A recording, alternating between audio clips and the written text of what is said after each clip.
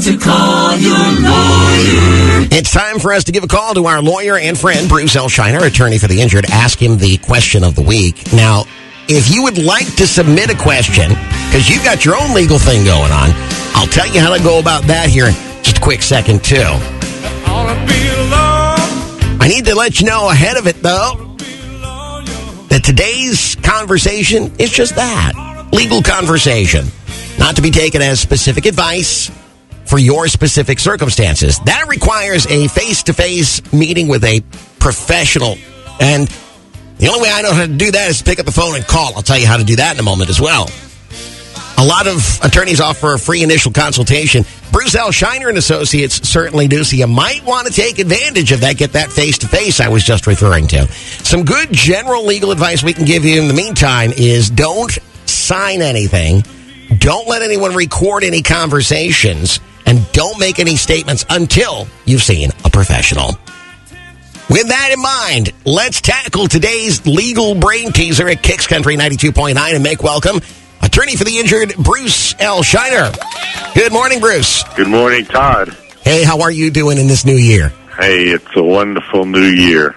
Uh, I, the thing I like about this early part of the new year, the whole year's filled with optimism. It's a blank canvas. We can make it what we want to make out of it, and I got a lot of got a lot of hope and optimism for the remainder of 18. Well, I applaud that, Todd. The only thing that I'm concerned about is we're going to blink it, the year's going to be over. It happens so quickly. That happens with all of them, though, doesn't it? Oh, boy. It certainly does. And it seems the older you get, the faster it goes, doesn't it? I hate to agree.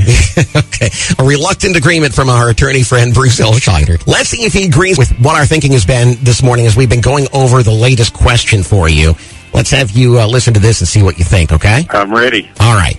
Says my husband was rear-ended while sitting at a red light, forcing his car into an SUV in front of him. He lost. He had months of rehab and months of physical therapy over a two and a half year period, and his back has reached a plateau which leaves him in constant pain. He has damage to his discs, including protrusions and an annular tear. These are medical terms I'm not familiar with, and I'm sure you've heard them before. His job is greatly affected as part of his work was to lift and move pianos. Oh my. He is the owner of the business and now has to pay others to do this aspect of his work. We have $150,000 uninsured coverage. We'd like to talk with an experienced attorney having dealt with underinsured policies. You know, we talk about underinsured and uninsured motorists so frequently. I knew you would have something to say about this. They have the right idea. I don't know why they waited so long, but they should get to an experienced attorney, one that's handled a lot of uninsured motorist cases as soon as possible. It sounds like he has a pretty substantial claim between the protrusions with his disc and his inability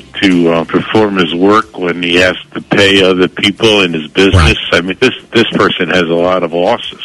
We, we were talking about those losses in the studio here a little bit earlier and just speculating being the amateurs that we are. We were thinking the, the, the loss in his ability to earn a living is obvious here. Um, but we were suspecting he's probably got losses in other areas of his life. He, he can't enjoy life the way he used to. If he was a very physical person, for example, he certainly can't do that kind of thing anymore. He has to be very careful about what he does. Is there a recourse for some kind of um, way of, of being compensated for that loss too? Absolutely. He's entitled to restitution for all his losses. Because he's collecting uninsured motorists, they stand in the shoes of the person who caused the accident. Right. So, for instance, let's say he was a big bodybuilder and he hurt his back and he can't exercise anymore, or he enjoyed motorcycle riding and he can't ride his motorcycle, or he enjoyed fishing and he can't Right. That's what we were go out guessing. and bounce on the boat. Right. These are all things that he's entitled to compensation for. That's exactly what we were talking about with this being such a, a boating, fishing area. If he enjoyed that kind of thing, he likely can't do it anymore. So it's good to hear that he would have some recourse, but it's going to take an experienced legal professional to get down that road. Yes, and he should contact one as soon as he can. The other thing that concerned us, it's been a two and a half year period or somewhere in that vicinity, statute of limitations, there's got to be certain time period on this, right? Right. There is a statute of limitations. In Florida, it's, it's five years, but there's a hidden danger back there, and that's if you have an uninsured motorist policy from a different state. Mm-hmm. Sometimes your statute of limitations is is controlled by the state where the policy was issued. Mm-hmm. For example, Tennessee has a one year statute of limitation. If he had a Tennessee policy, he'd be out of luck. Wow. So that that's another reason to see a lawyer as soon as possible to check on what his statute of limitations is.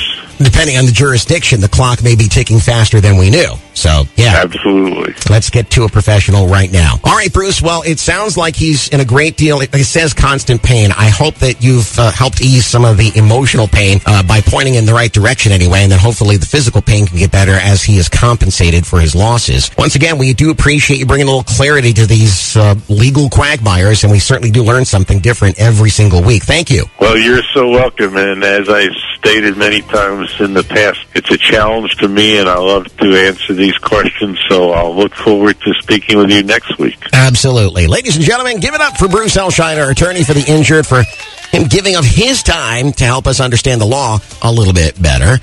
Now, if you have a legal question you'd like to hear answered on a future segment of Ask the Lawyer, you're certainly welcome to submit that question through our website.